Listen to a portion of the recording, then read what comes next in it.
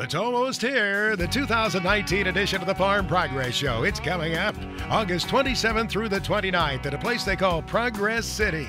90 acres of an exhibit area right on the north edge of Decatur, Illinois. The permanent site being improved and added to a little bit every year.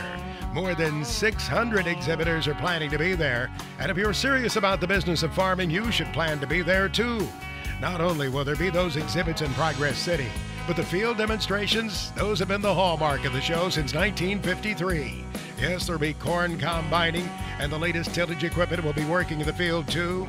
And you can test drive all terrain vehicles and UTVs in the ride and drive area. All of the information is on the website, farmprogressshow.com. It's August 27th, 28th, and 29th. You can go there, plan your route around the show, and order your tickets too at farmprogressshow.com. We'll see you in Decatur.